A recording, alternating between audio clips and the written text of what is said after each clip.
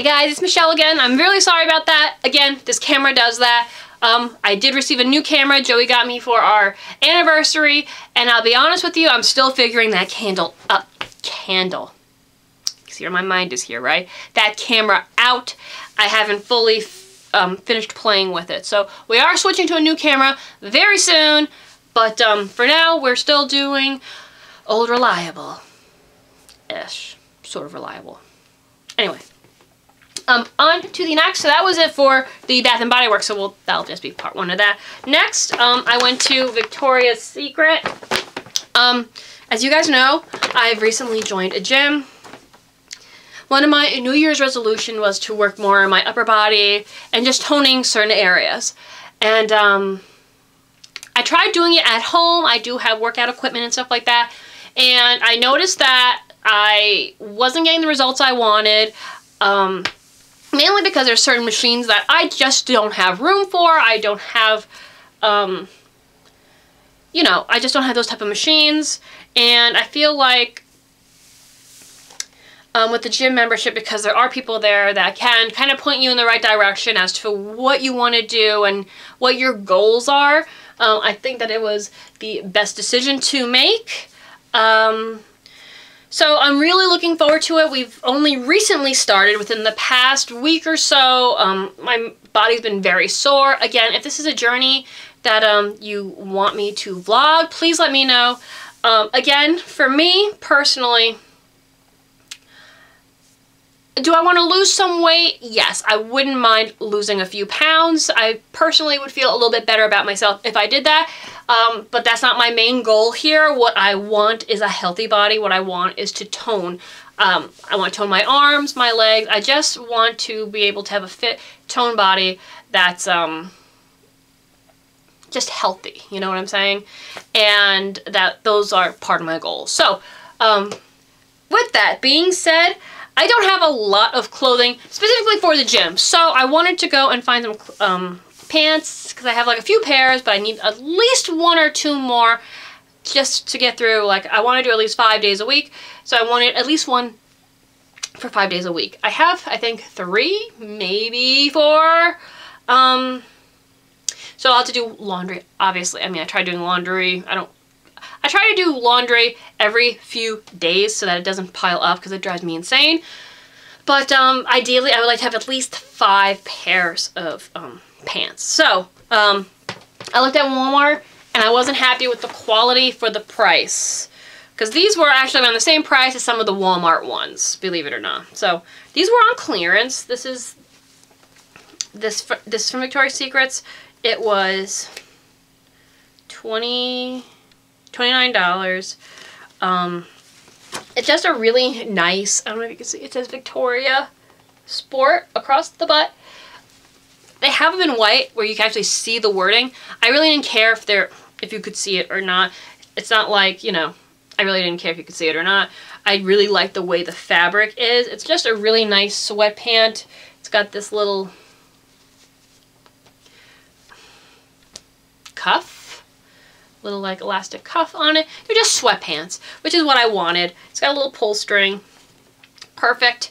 Um, and I was very happy with that. I thought I was going to find um, better deals at Walmart, but for the price, the quality wasn't there. So I may go back, get another pair of these, because I really was happy with them. Um, with the quality of that. And I'm looking forward to working on those. Next, I went to Walmart. Again, Walmart I went to mainly to find more pairs of pants and I'm just not happy about it. I did find some other cute things though. First, this has nothing to do with working out or anything like that. Um, you guys know I also like to collect um, like the shows and movies that I watched growing up. This is no exception. I did buy one of the Easter ones last year. This one is the uh, is a three pack because there was two. I really don't care about the one in the middle, but uh, the other two I watched growing up. The middle one is Yogi the Easter Bear. I did watch Yogi growing up, but he's not necessarily my favorite in this particular mix. The Easter Bunny is coming to town. That particular one is made by the same company that does Rudolph. Let's see if I can find... I always forget the name, and it's like... Like, I, I'm embarrassed that I forgot the name, to be honest with you. Uh, Rank, Rankin... Bass Productions. I, I may be pronouncing it wrong, but I know you know what I'm talking about. And I love Rankin Bass Productions.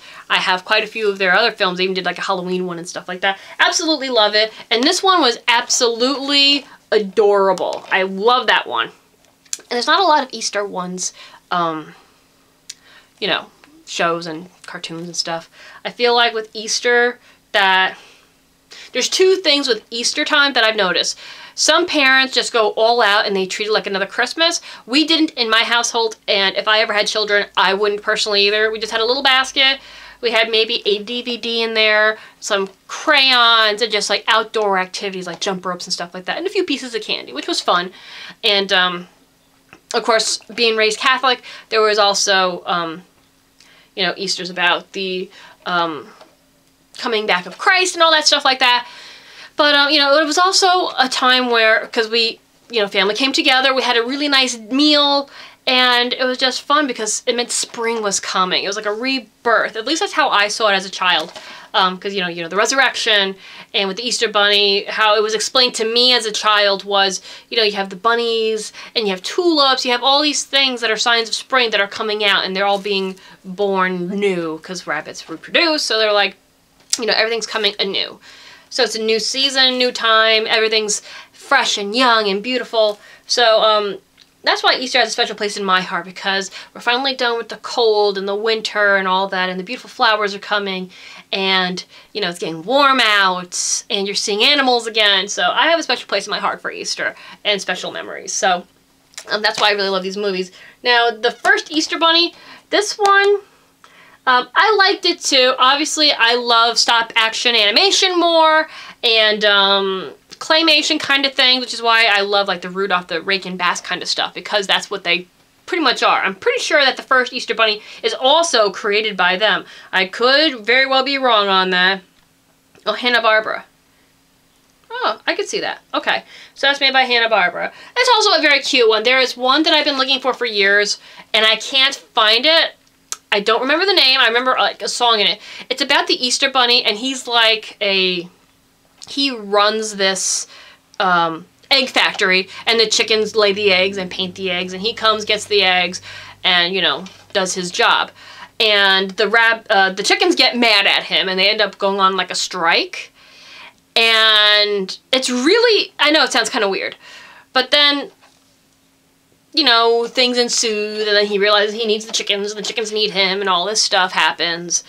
And but there's like this one song in the movie that always sat with me and always it it makes me think of those happy memories as a child. And like the only phrase I remember is when you wake up on Easter egg morning, it's the happiest day of the year. Does anybody else remember this cartoon? It was like a mini movie cartoon thing, but it was from the 90s. It was super cute. I can never find it anywhere. I've been looking for it on DVD for years. I can't find it. But I have everybody else from Easter now um, that I absolutely loved, except for that one, which I'm still looking for. So, enough. I spent like three minutes on this, so let's move onward. Uh, but yeah, so I got that for those reasons. Next, I did buy a shirt um, to work out in. That was the main goal for this. Now, I got it oversized because I just want it loose because I like that. It's this really pretty blue shirt with an anchor on it. It's got white sleeves. It's very sporty looking, but I'm just using it to work out in. I wanted something that was loose fitting with a long sleeve. This was just perfect. And this was, I think, seven bucks, something along those lines. Yes, this was $7. So, it wasn't horrible, but I feel like some of their clothes have gotten expensive. I found some really cute tank tops, and they were like $12. I'm like, for a tank top, you are out of your mind. But for $7, I thought this was worth it. Like I said, um, I'd wear it over my um, sports bra. So it's super cute. Next, I found some things on clearance, which I was super excited about. They were $2 each. Initially, again, I didn't have any... Wow, why did the lighting color get really weird? Anyway, um, initially, I... Until I like start seeing progress, I don't really want to buy any clothes. But this is something that I will use, and um, they're just nice to have, especially for $2. I think they're normally about 5 So I got two. They're calling these things footless tights. Pretty much it's a legging. I don't know why they bother calling it footless tights. It's a legging. Pretty much what it is. So, I got two, and they're both fleece lined, which they're not bad. I do like the fleece line. They do serve a purpose. They're not my favorite either. But I loved the patterns, and for $2 I couldn't pass it up. So I got this black pair, and I don't know if you could tell, there is some silver stitching in here. Very pretty. I figure I could use this a lot, especially um, for the holidays and stuff like that. This is going to be a lot of fun to play with, so I had to grab that one. And this, because I don't like doing black tops on top of black. I've done it. I have done it. You guys have seen me do it. But I also like to have a pop of color. So, with a nice black top, I figured, ooh, look at these. These are a Merlot colored one, also fleece lined. Again, they call they're calling them a footless tight. It's still a legging as far as I'm concerned. It feels like a legging. It looks like a legging. Smells like a legging. It's a legging. Anyway, sorry, but um, I think leggings and tights, they are closely related but not exactly the same thing. Tights are normally thinner than this. This is definitely a legging material, but, you know, who am I to judge? Now, last but certainly not least, from Walmart, and I, I couldn't help myself. I couldn't help myself. These are just for around the house. These are to be great for wintertime when winter rolls around again. I paid $2 for these. Look at these.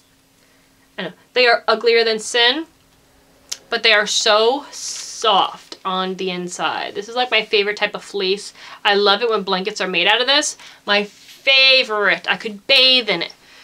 So for $2, I thought these would be adorable, especially like it's a cold night, you're warm in front of the wood stove, you just got out of a nice bath, you want to have your glass of wine and put your feet up in these cute little minion slippers.